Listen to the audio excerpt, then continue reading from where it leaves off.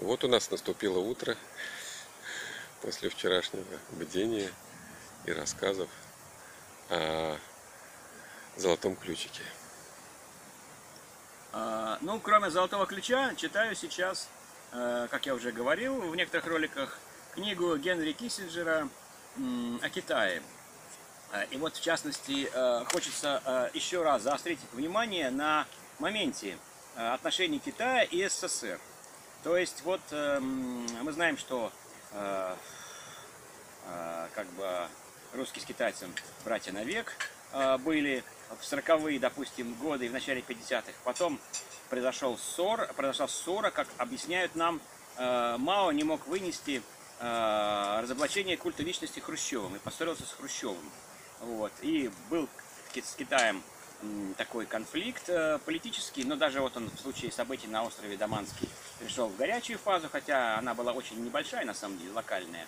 Но что интересно, что вот, э, вот все 60-е, особенно 70-е, 80-е годы у нас шла такая э, гвалом галимая антикитайская пропаганда, то есть про Америку столько не говорили гадостей, сколько говорили про Китай.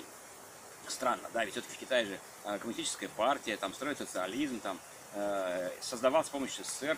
А прямо вот китайская угроза, вот у нас так пугали китайской угрозой, и даже вот старцы святые, э, которые, так сказать, окормлялись понятно где, они тоже говорили о том, что Китай захватит Сибирь. Заметь, говорили не сейчас, а в 70-е, 80-е, когда э, никакой, в общем-то, реальной угрозы Китай не представлял для огромного и могучего Советского Союза. И я помню свое детство, нас пугали Китаем,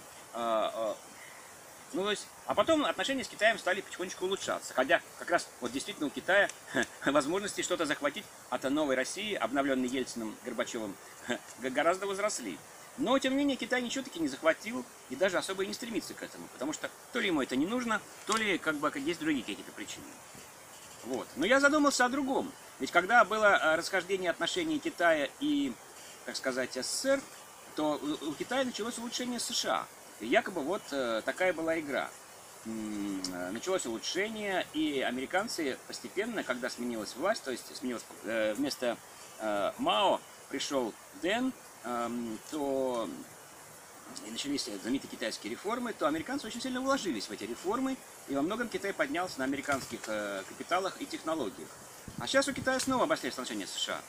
И, и вот, кстати, в связи с этим интересно, а насколько вообще вот эта ссора Китая и СССР была, она реальной? И может быть это была просто игра на публику, и э, вот э, это было нужно для того, чтобы э, втянуть в эту ловушку Соединенные Штаты.